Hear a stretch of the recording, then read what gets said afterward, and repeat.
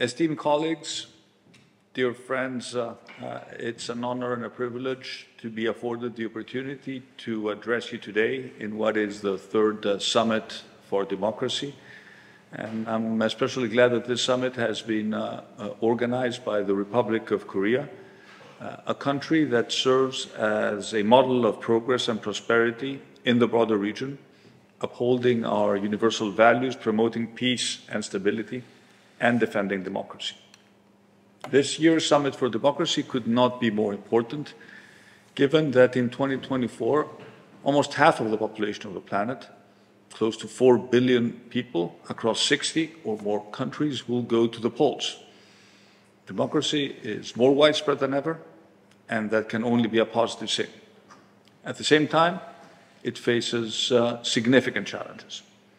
Challenges that mean that for those of us who continue to believe uh, in democracy as a political system that represents the best of all alternatives, our focus, I believe, must be on three critical priorities.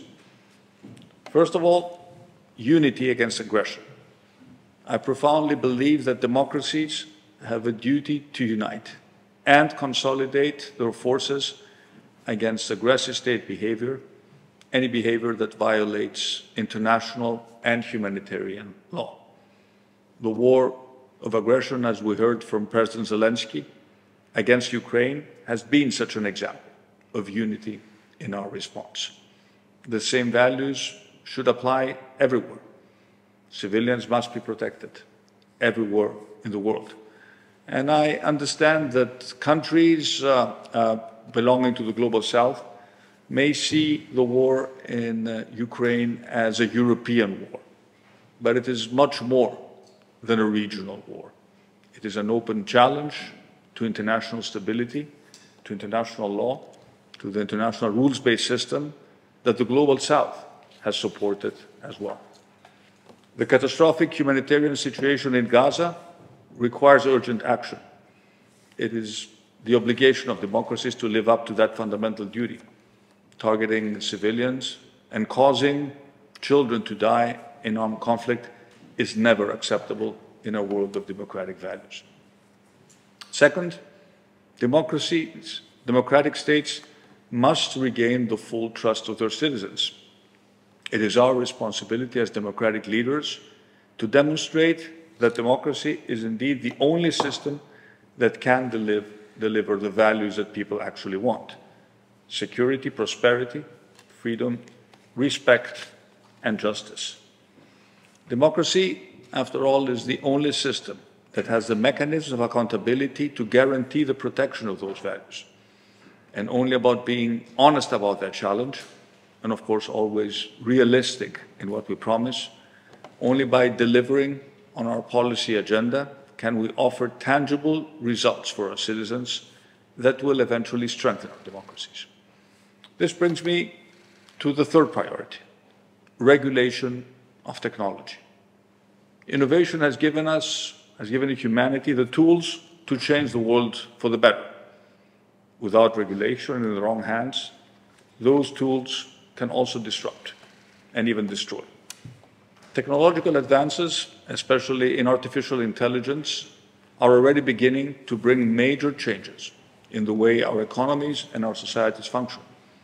If we are not careful, we risk as Democrats missing the adaptation necessary to prevent the misuse of artificial intelligence.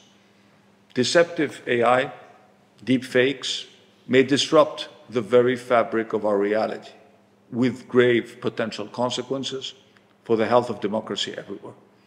Not only could it undermine transparency and accountability, but weaken social cohesion, collective values, and the fundamental trust that is so necessary to bind our societies together.